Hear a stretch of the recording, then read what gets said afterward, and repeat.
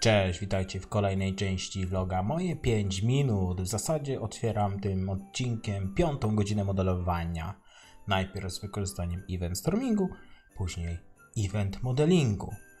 I jak można się zorientować, będzie po obejrzeniu tego odcinka. Model jest bardzo duży, bogaty i szeroki a dotyczy tak naprawdę być może prostego problemu.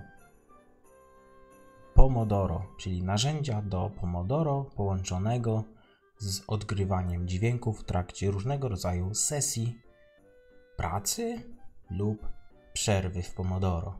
I takie tematyczne dźwięki, żeby się lepiej skupić lub być może lepiej odprężyć w zależności od fazy Pomodoro, w jakiej się znajdujemy. Ale to tyle z tego mojego biadolenia. Nakręcę moje kolejne 5 minut pracy nad projektem Catch the Flow. Zapraszam. Także zabiorę się teraz za kontynuowanie tych poprawek. I prawdopodobnie zostało jeszcze kilka aspektów z tym związanych. Między innymi te zdarzenia nie mają żadnego wpływu na, e, na ten model z prawej, czyli te, te zdarzenia związane z konfiguracją. I one muszą ulec powiązaniu. Widzę też, że te slajsy troszkę mogły być w innym kolorze, tak żeby były e, rozpoznawalne w innej postaci.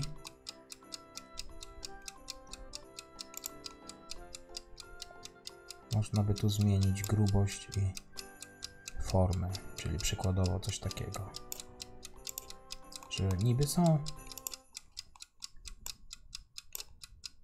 ale nie są tak bardzo widoczne.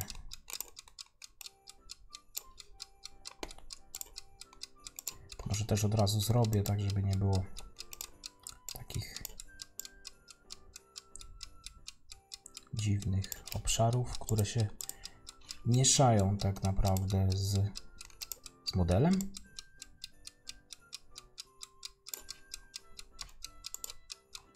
Jeszcze tu jeden został.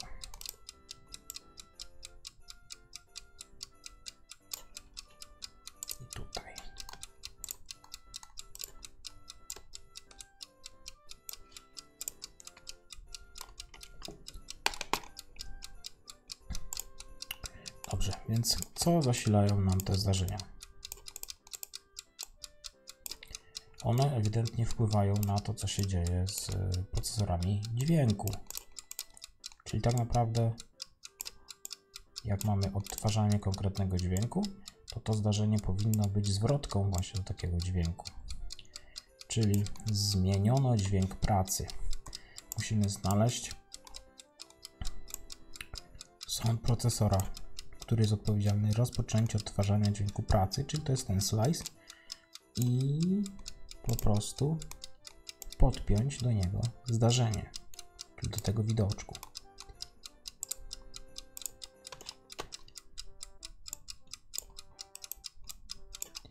Żeby to było w miarę jeszcze może ładne, może tak.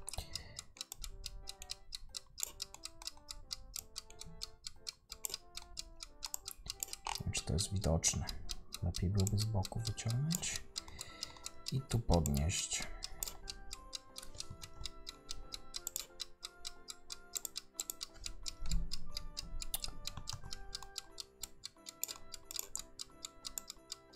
Trudno się modeluje tym narzędziem.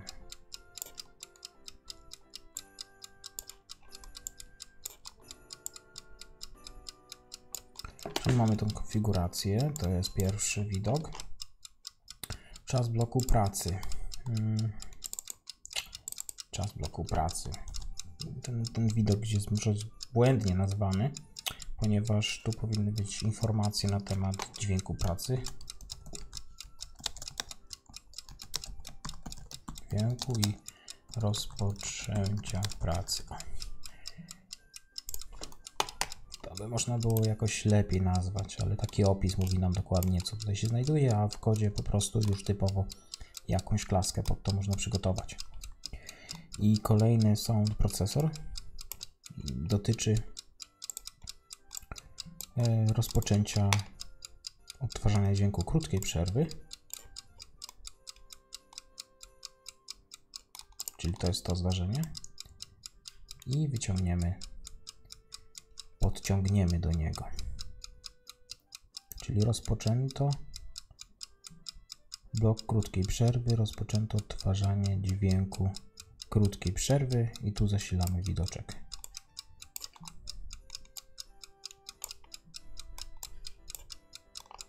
Tak jak poprzednio.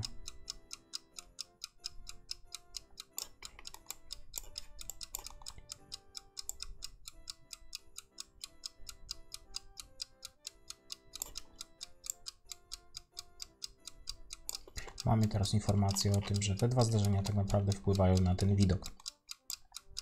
I ostatni, ostatni sound procesor, czyli rozpoczęto odtwarzanie dźwięku długiej przerwy. To jest to, co trzeba spiąć na samym końcu w sumie. Nie wiedziałem, że tak można wyciągać i pewnie za wiele więcej nie zrobimy.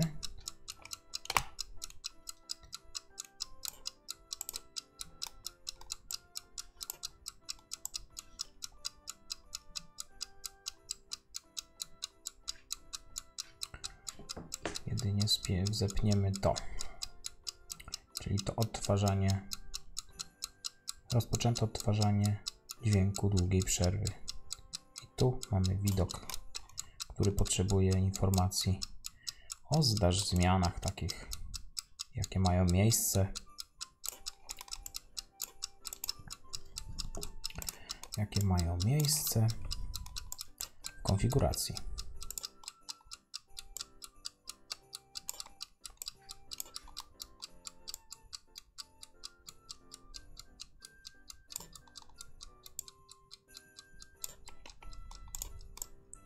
Mamy tutaj pociągnięcie takiej bardzo długiej od lewej do prawej. I myślę, że e, w tym momencie to chyba wszystko jest zamodelowane. Mam takie wrażenie. Jeszcze mała poprawka. Czyli mamy ten nasz model The Flow w formie Event Modelingu, czyli zamodelowany techniką Event Modelingu. I mam wrażenie, że to jest wszystko, co było nam potrzebne na chwilę obecną. Tylko pytanie, co z tym? Bo w zasadzie można by zduplikować tę sytuację na górę, tutaj, czyli że ta konfiguracja wpływa i pospinać to też razem. Więc to też myślę jest do zrobienia ale to w późniejszych vlogach. I tym samym kolejny vlog, moje 5 minut dobiegł końca. Mam nadzieję, że przekazuję Ci tutaj w jakiejś fajnej, ciekawej może formie wartość, że nauczysz się modelować i zaczniesz to wykorzystywać, ponieważ to jest potężne narzędzie. Pozwala ono bardzo dużo czasu zaoszczędzić w tworzeniu projektów. Czyli, tak już chyba to wspominałem, wykonać taki skok w czasie do przodu i zobaczyć, jak ten projekt, jak ten program, jak, to, jak ten system jest zbudowany, jak wygląda przy pomocy takiego modelu złożonego z karteczek samoprzylepnych lub, tak jak w przypadku Miro, z po prostu takiej e, wirtualnej e, prezentacji modelu.